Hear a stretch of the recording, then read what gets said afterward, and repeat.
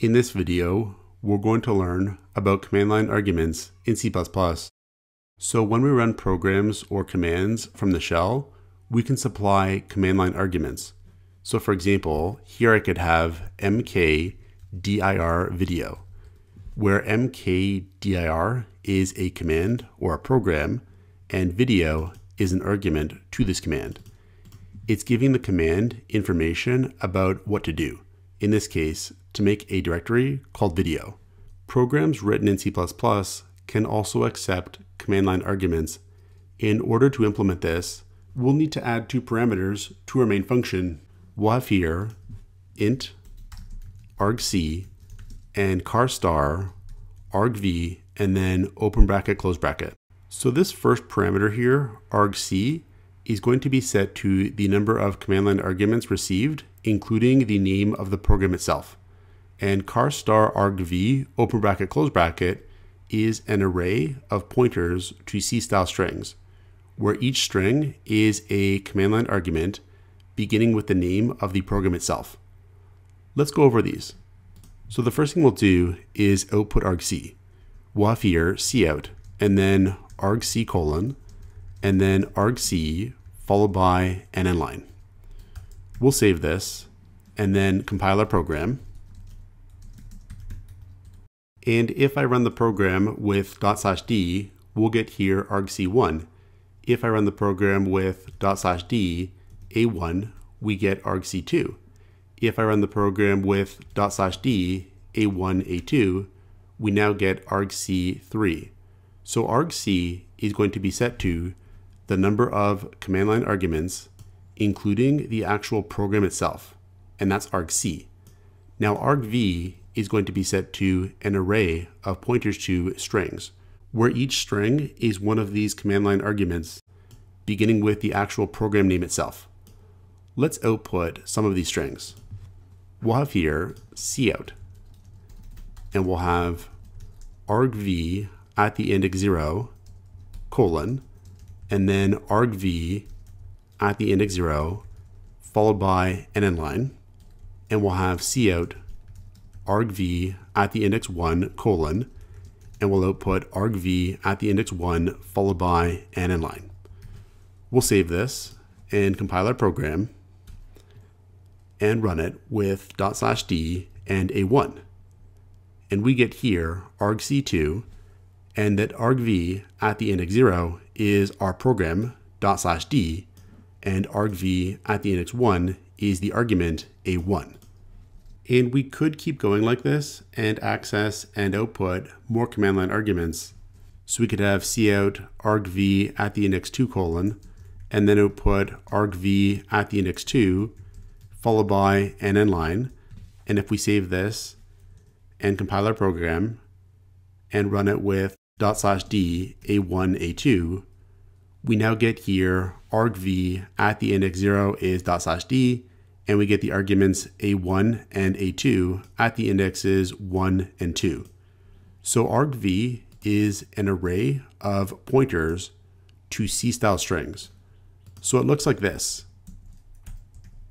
where argv at the index 0 is a pointer to a string stored in memory made up of the characters dot and then slash and then d, and then there's the null terminator character that ends the string. And we get the same sort of C-style strings for argv at the index 1 and argv at the index 2. Now we could write this second parameter as char star star argv, and this will actually work the same way.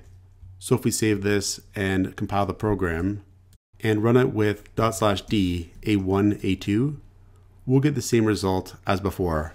And that's because in C++, when we pass arrays to functions, really we're passing a pointer to the first element in the array. So char star star argv is equivalent to char star argv open bracket close bracket. I do prefer this format here though because it makes it clearer that argv is an array of pointers to strings. Now, one thing we may want to do is check to make sure our program has received the correct number of command line arguments. Because for example, if we try to run the program with dot slash d a1, we'll get here a segmentation fault error. And that's because we're trying to use argv at the index 2, but argv at the index 2 is not set to a string. What we could do is check argc to make sure the correct number of command line arguments have been received. So here we could have if argc is equal to 3, then we'll output the command line arguments here. Otherwise, we'll output an error message. We'll have here cout. Exactly two arguments required, followed by an end line, and we'll return negative 1 as an error status. We'll save this and compile our program. Then, if we run it with dot slash d a1, we'll get here exactly two arguments required. If we run it with dot slash d a1, a2, now we get the expected output. We could also use argc to iterate over some unknown number of command line arguments.